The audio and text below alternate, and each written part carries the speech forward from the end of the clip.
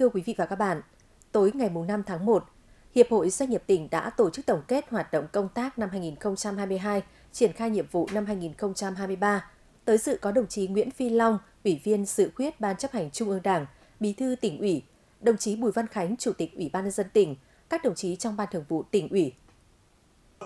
Phát biểu tại hội nghị, đồng chí Bí thư tỉnh ủy gửi lời chúc mừng năm mới tới các doanh nghiệp, doanh nhân trong tỉnh, đồng thời khẳng định năm 2022, mặc dù chịu tác động dịch COVID-19 ảnh hưởng đến sản xuất kinh doanh, song Hiệp hội Doanh nghiệp tỉnh thể hiện vai trò cầu nối, các doanh nhân doanh nghiệp thể hiện tính năng động hiệu quả trong hoạt động sản xuất kinh doanh, ngày càng khẳng định vai trò tiên phong sung kích trên mặt trận phát triển kinh tế. Ngoài ra, cộng đồng doanh nghiệp còn thực hiện tốt công tác an sinh xã hội. Tiếp tục tích cực để làm sao mà cải thiện môi trường đầu tư kinh doanh, thu hút các nhà đầu tư, rồi tạo một cái môi trường cho các nhà đầu tư trong tỉnh và ngoài tỉnh để mà đầu tư phát triển. Mà muốn phát triển kinh tế thì ngoài cái đầu tư công của nhà nước thì phải có vai trò hỗ trợ của kinh tế tư nhân. Cái này đóng góp vào cái sự tăng trưởng rất là cao của tỉnh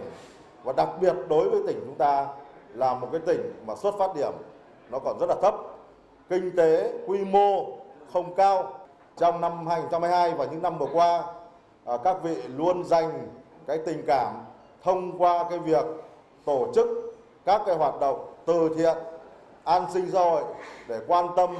chăm lo đến hộ nghèo, hộ cận nghèo, gia đình chính sách, gia đình có hoàn cảnh khó khăn và tham gia các cái công việc chung xã hội của tỉnh. Cái này rất là đáng quý.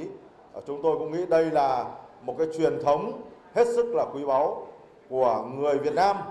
trong đó có cộng đồng doanh nghiệp của chúng ta. Đến nay, Hiệp hội Doanh nghiệp tỉnh đã có trên 700 doanh nghiệp tham gia đóng góp cho ngân sách nhà nước hàng nghìn tỷ đồng. Hiệp hội đã làm tốt vai trò là đại diện cho cộng đồng doanh nghiệp để kết nối, hỗ trợ các doanh nghiệp, cảnh báo các xu hướng thị trường, định hướng các doanh nghiệp nắm bắt cơ chế chính sách liên quan đến hỗ trợ các doanh nghiệp,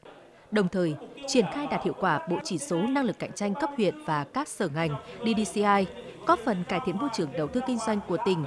ủng hộ hàng tỷ đồng cho Quỹ vì người nghèo của tỉnh. Năm 2023, Hiệp hội tiếp tục thực hiện vai trò cầu nối, kịp thời đề xuất tham mưu với các cơ quan hữu quan những giải pháp nhằm hỗ trợ tháo gỡ khó khăn, tăng cường liên kết hợp tác. Tại hội nghị đã có 44 đơn vị doanh nghiệp ủng hộ với tổng số tiền hơn 3,3 tỷ đồng để tặng quà hộ nghèo nhân dịp Tết Nguyên đán Quý Mão 2023.